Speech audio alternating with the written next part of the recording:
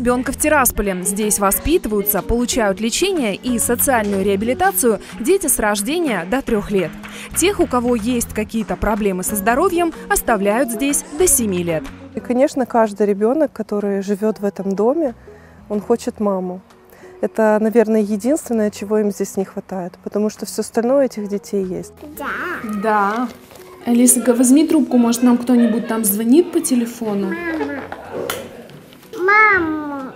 Здесь живут мальчики и девочки, которые остались без родительской опеки. Сироты, отказники, дети тех, кого лишили родительских прав, а также малыши, чьи мамы и папы, попав в сложную жизненную ситуацию, на время определили их в дом ребенка. Детей в учреждении много, но не всех детей можно на сегодняшний день отдать в семью. Потому что есть э, дети, у которых родители оставили по заявлению. То есть на какой-то определенный период, в течение которого они должны наладить свою жизнь, создать соответствующие условия, чтобы забрать обратно этого ребенка. Есть дети, которые там дело в суде, например, еще длится этот судебный процесс. Неизвестно, маму лишат родительских прав, либо вернут ей обратно.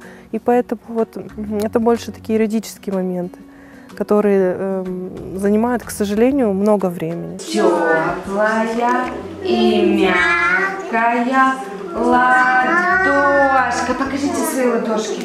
Поглажу я друга ладошки немножко, вы мои, поглажу я друга, ладошки немножко, возьмемся за ручки, нам хорошо, когда мы вместе, да?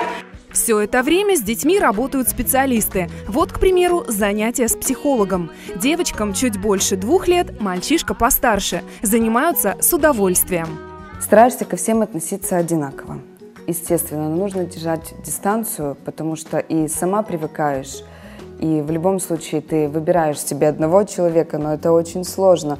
И ты стараешься э, всем максимально дать э, какую-то любовь, какую-то защиту, какие-то вот э, эмоции, ты начинаешь понимать, что в любом случае ты всех не заберешь.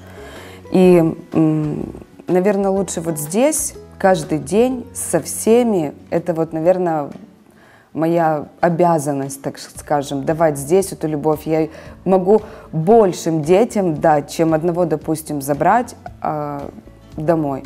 Жизнь детей в доме ребенка максимально приближена к жизни в семье. Александра Котик – учитель-дефектолог, работает тут 10 лет. Говорит, в доме ребенка задерживаются только те, кто любит детей и готов дарить им свое тепло. Каждому малышу индивидуальный подход. Многие не выдерживают эмоционально это все, потому что это сложно. Здесь много детей у нас. И дать всем эту любовь, которую они хотят. Мы же всех деток обнимаем, целуем. Это постоянно все проходит. Это каждый день, каждый час, каждую минуту они требуют этого внимания, как обычные дети, домашние мы называем, домашние наши дети. Они все чувствуют. Вы знаете, мне недавно задали такой вопрос, а правда ли, что эти дети не плачут? я успокоилась и говорю, вы знаете, наши дети такие же самые, эмоциональные, капризные, э, они смеются, плачут, э, кричат, э, недовольны каким-то действием или поступком, все то же самое.